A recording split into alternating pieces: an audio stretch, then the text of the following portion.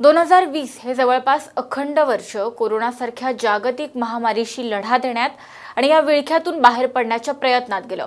मात्र त्यानंतर आता कोरोना लसीची निर्मिती ही अंतिम टप्प्यात असल्यानं येणाऱ्या नव्या वर्षामध्ये लवकरच आपल्याला दिलासा मिळेल अशी एक भावना आपल्या सर्वांच्याच मनामध्ये असताना आता संपूर्ण जगाला एक हादरा बसलाय. युरोपामध्ये कोरोना व्हायरसची एक नवी प्रजाती आता सापडली आहे आणि कोरोनाच्या विषाणूमध्ये म्युटेशन अर्थात बदल होऊन तयार झालेला हा नवा विषाणू आणखी घातक असण्याची शक्यता आहे.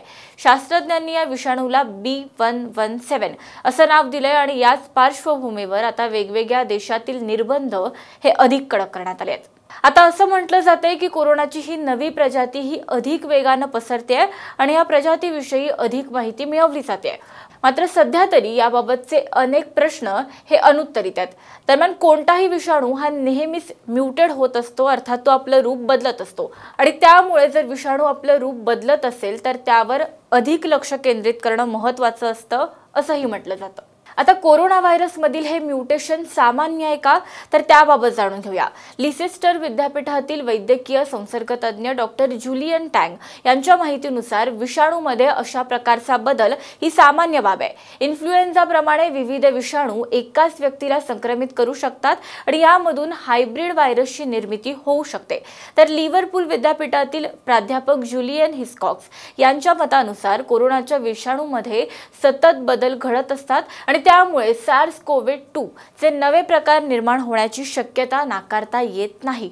मानव आणि प्राण्यांच्या शरीरामध्ये असणाऱ्या विषाणूबाबत ही परिस्थिती ही नेहमी पाहायला मिळते असंही म्हटलं जातं.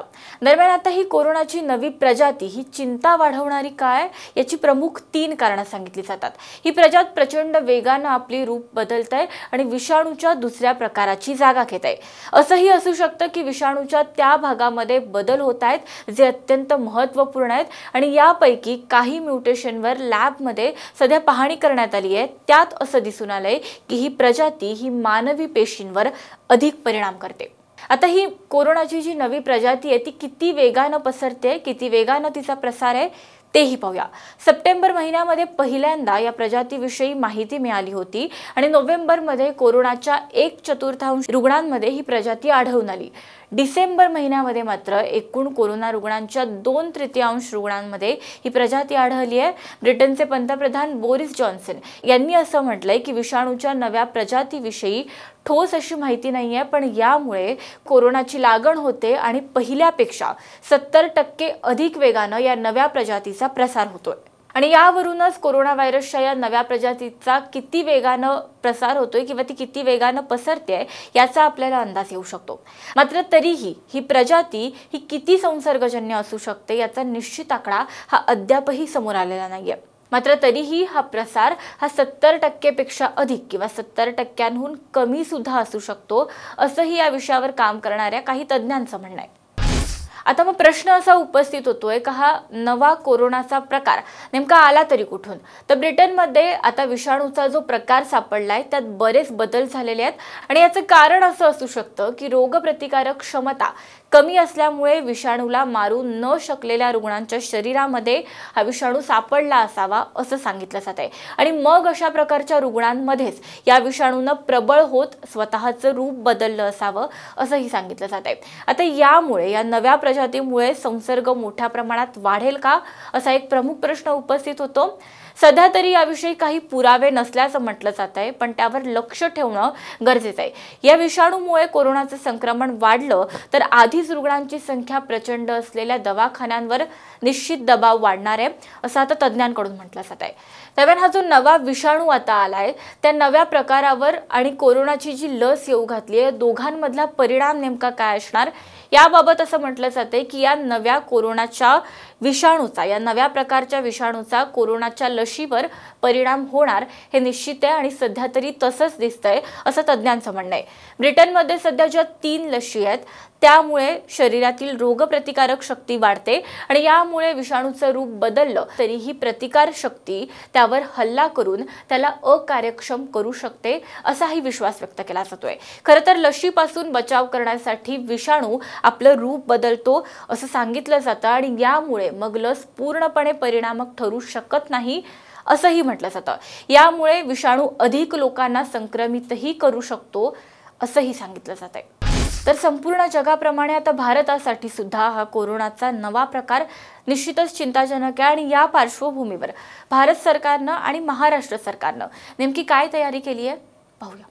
ब्रिटनमध्ये आलेल्या या नव्या कोरोना स्ट्रेनमुळे आता भारताची चिंता वाढली आहे आणि यामुळेच आता ब्रिटनहून येणाऱ्या विमानांवर बंदी घालण्यात आली आहे. इतकंच नव्हे तर महाराष्ट्र राज्य सरकार सुद्धा आता हाय अलर्टवर असून तातडीनं आता महाराष्ट्रामध्ये रात्रीची संचारबंदी ही आजपासून लागू करण्यात आली आहे.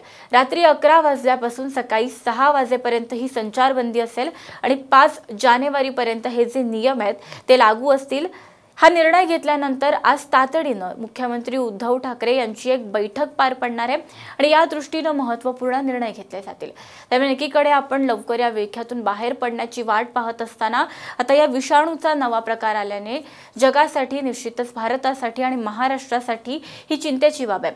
ज्या पद्धतीनं आधीही आपण सांगत आलो आहे त्याच पद्धतीनं यातून घाबरून जाण्याची गरज नाही आहे खबरदारी घेणं हा यासाठीचा एकमेव उपाय आहे. आता जगभरामध्ये आपल्याही देशामध्ये आणि राज्यामध्ये निर्बंध जे आहेत ते हळूहळू कडक होण्याची शक्यता आहे. त्या पद्धतीनं आता हाय अलर्ट वर सुद्धा आहेत सरकार.